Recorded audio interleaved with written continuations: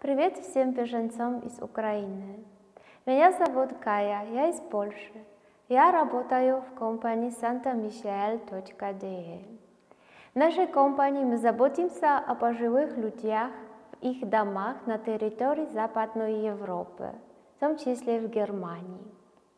Если у вас есть опыт или желание работать с пожилыми людьми, пожалуйста, обязательно должны вы сообщить в нашу компанию santamichael.de.